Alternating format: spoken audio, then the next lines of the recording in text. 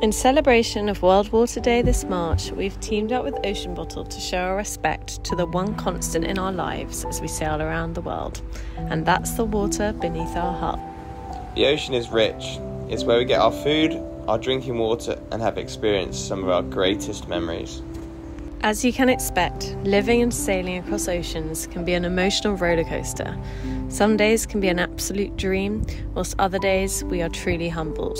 But each day we feel very lucky to live this close to the water.